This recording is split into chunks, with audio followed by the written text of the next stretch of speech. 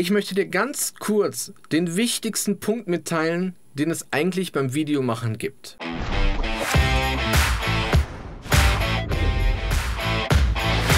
Video Do, einfach bessere Videos machen. Vielleicht hast du es schon mal gehört, die sieben Kontakte-Regel.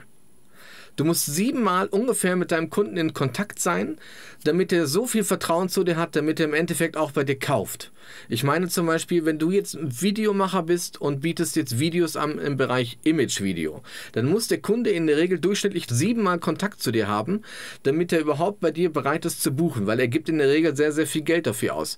Das heißt, du musst ihn überzeugen. Du kannst ihn aber im Vorfeld äh, überall abholen, zum Beispiel auf den öffentlichen Social-Media-Kanälen, auf YouTube oder sowas, schon mal von deiner Arbeit überzeugen, was du machst, wie professionell du bist, was für eine Marke du bist und wie du dich bereits positioniert hast, was du bereits für Aufträge hast.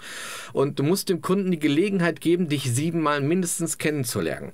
Die einfachste Möglichkeit ist, du bringst ihm Content. Denn die meisten suchen auf Google irgendetwas nach einem Problem, nach einer Lösung. Und wenn du da schon das Problem dem Kunden lösen kannst, ein kleines Problem, und äh, der Kunde dann aufmerksam wird, dann hast du schon mal Vertrauen gewonnen. Wenn du beim nächsten Problem lösen, sagst du immer zu, ich gebe dir gerne das Problem, äh, du sammelst dann Kontakte sammelst diesen Kontakt per E-Mail, per Messenger, per, per, per, keine Ahnung was, per deine Webseite oder sonst irgendwie.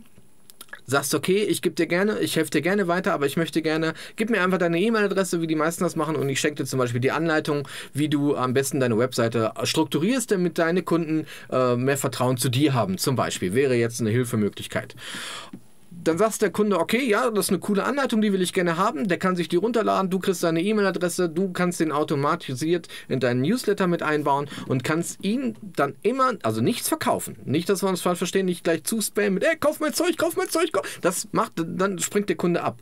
Sondern Du bringst ihm mehr Informationen, noch mehr kleine Informationen. Du musst ja nicht dein ganzes Know-how gleich rausballern, sondern einfach ganz wichtige Informationen, aber die wirklich deinem Kunden weiterhelfen. Sobald er merkt, dass du ihn bescheißt, ist er weg. Ist ja logisch. Weil wenn ich merke, ey, der bescheißt mich, der will mich äh, verarschen, dann will er mich bei meinem Auftrag ja auch verarschen. Und das will aber niemand. Du willst ja deinem Kunden hoffentlich wirklich damit helfen. Ich hoffe, ich konnte dir damit weiterhelfen und ich würde mich freuen, wenn ich nächstes Mal wieder was von dir höre, was lese. Schreib es einfach in die Kommentare. Äh, ähm, bis dann, ciao, dein Sven Sulik.